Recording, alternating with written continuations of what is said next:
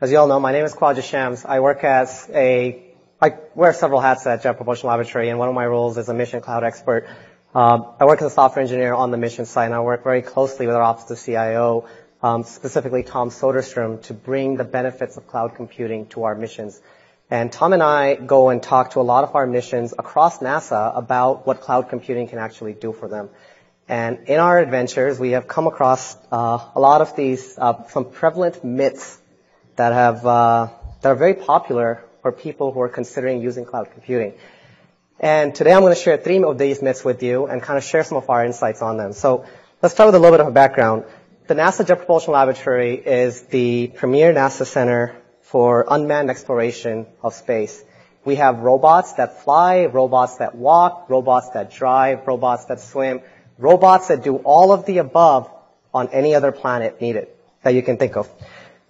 And part of what's being, uh, what's so great about being at JPL is that this is what you get to do. This is what our core set of expertise is at. And we kind of want to be able to focus on these set of uh, expertise. A uh, little known fact about JPL is that we have visited every planet in the solar system except for Pluto, so we found a cheap way to take care of that.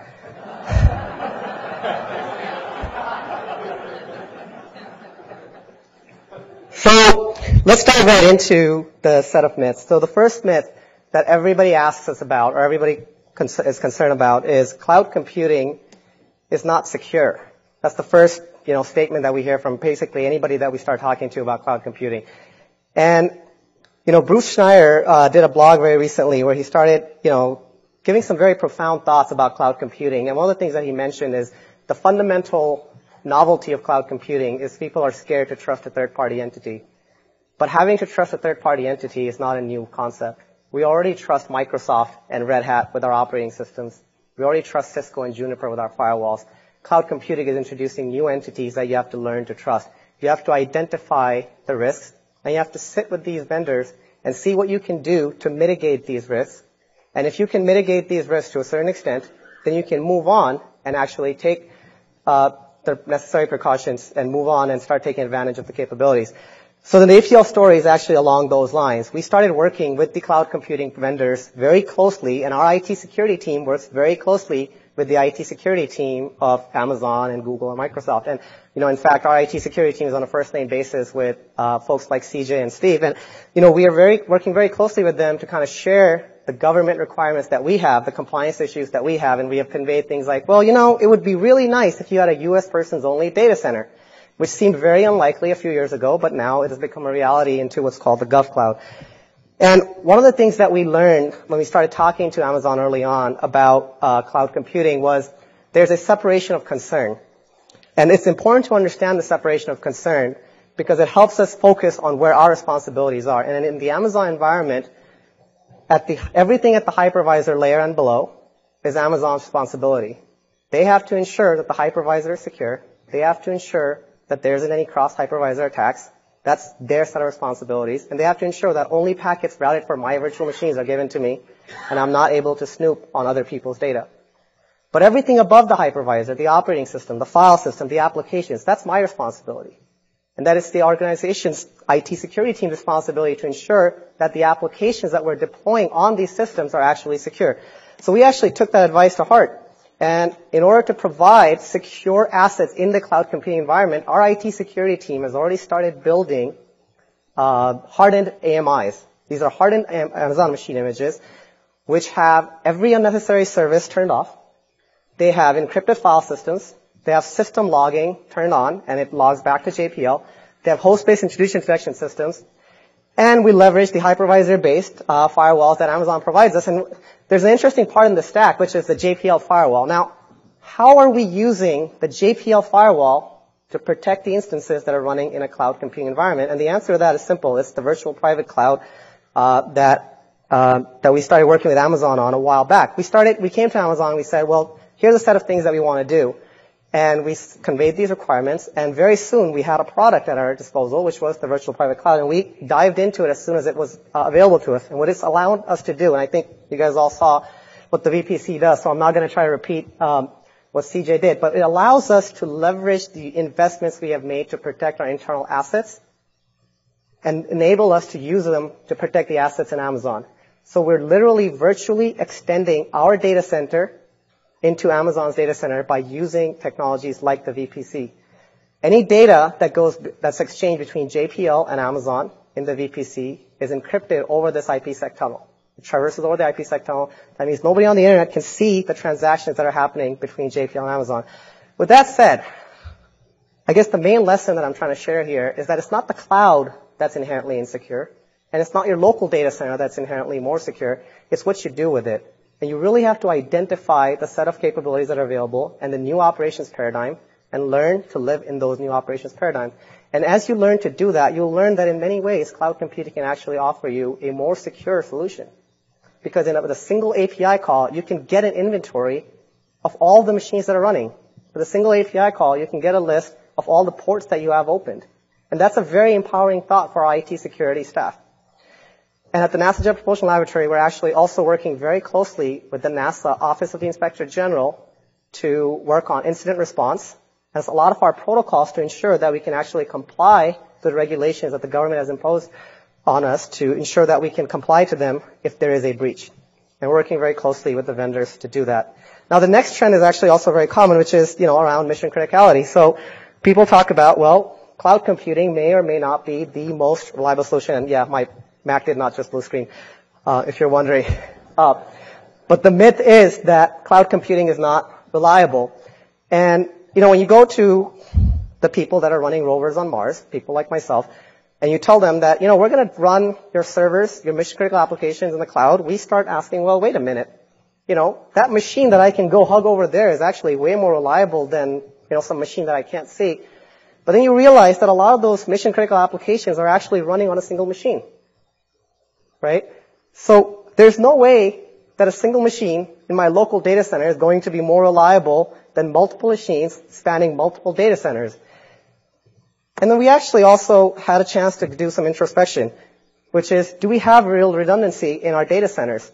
This is an actual picture. This is a station fire uh, from a couple years ago. This is a fire, and the place that you see in the background there, or in the foreground, is the Jet Propulsion Laboratory. This is a natural disaster. This, uh, the station fire came within a one-mile radius of JPL. The entire JPL was evacuated. Our data centers were left without staff, and any outages that occurred during that time could not be addressed. And we started asking ourselves, so we have got geographical redundancy for our data, and we've got geographical redundancy for our applications, but not all of them. And why is that? It's because it's hard. It's expensive, right? So what can we do to augment the availability of our applications? So it's the cloud, you know, there's two ways to look at the availability metrics in the cloud. One of them is to look at, well, maybe it makes your application less available or more available if you deploy it completely in the cloud. And the other way to look at it is how can you actually augment the availability of your application by deploying that same application suite in the cloud so that it's ready to go when you need it in case you have a natural disaster like that. And the other thing that you get with the cloud environments is you get the ability to have uniform APIs to provision resources in the East Coast or the West Coast, and everything looks exactly the same. So you can get cross-coast redundancy without having to buy a single piece of hardware, without having to rent facility, and without having to rewrite software to be able to run differently in a completely different environment. And you can automate this entire process because all of this can be done via API calls. With that said, we actually decided that you can actually run mission critical applications in a cloud computing environment, and we took that advice and, you know, we put our money behind our our, our statement. And in November of 2010, the Mars exploration rovers uh, operated at uh, the Jet Propulsion Laboratory became the first NASA mission to operate a mission critical application in a cloud environment, in a public cloud environment. So what, what's happening here is we have uh, the plans for what the rover is going to do the next day. This is what the scientists are deciding what the rover is going to do the next day. They're stored on S3 and they're cataloged on uh, SimpleDB. And we are able to actually encrypt the data before it leaves JPL and only decrypt it outside of JPL. What this allows us to do is to, st- store sensitive information in the cloud environment, but gain the availability and durability that we don't have access to otherwise. And actually, I should also report that since November of 2010, you've got 100% availability on that application. That application has not gone down since. And in fact, if it went down right now, I'd get a call and I'd kind of have to step out. Um, and beg for my job. um, so I gave a couple of positive uh, sounding myths about cloud computing. The next myth that we come to across very often is cloud computing is uh, offers infinite capacity, which means that anybody can come in and provision all the capacity that's available to you in the cloud environment and kind of take over the cloud. Um, or that I can provision, you know, 5,000, 50,000, 500,000 machines. And, you know, I kind of want to address that myth by showing you a demo. And the purpose of the demo is twofold. Uh, the second one will become clear in a second, but the first one is to illustrate the simplicity with which you can uh, order applications and order um, infrastructure in the cloud environment. Now, how many of you have actually ordered infrastructure recently? You know, like, I want five machines or one machine. I just, you know, you start out by emailing your favorite SA, system administrator or favorite IT person, and then you exchange a bunch of emails, then you wait for, you know, a vendor to come in and send you the device, and then it has to be installed physically. It quickly translates into months or weeks of labor. In a cloud environment, um, let me actually show you. In this particular case, So I've got zero applications, uh, zero instances running right now, and in order to illustrate the simplicity with which you can provision instances in the cloud, rather than sending emails, I've got this thing right here. It's the Cloud Computing Control Box 2.0. It's a knob. I, I work at JPL, so I, I kind of have to have this geeky infrastructure, but let me give you a closer look. Um, I guess the contrast isn't quite there yet, but Cloud Control 2.0. So I showed you on the Amazon Management Console that I have zero instances running right now. And I kind of want to just push Amazon as much as I possibly can today and see how many instances I can provision just by, you know, uh, turning this knob a little bit. And just to give you an idea, instances will show up here once they've actually been provisioned. So, well, I provisioned two machines. I think I provisioned more than that, so let's just give it a second. All right three machines. That's really not pushing Amazon hard. Uh, let's see what else we can do. Let's turn this a lot um, and see what happens here. All right, 16. That's nearly not hardcore enough. I, I can do better than this. I'm just going to keep turning it until, you know, uh, either somebody comes on stage and jumps me or All right, we've got 20 machines. Uh, let's just keep going. 20 machines is nearly not hard enough. The, one thing I'll note is usually I have a little faster internet connection, but this is all happening automated, by the way. This is not, somebody isn't sitting in the back provisioning these machines for me, uh, just in case you're wondering. 58. I'm going to turn to some more.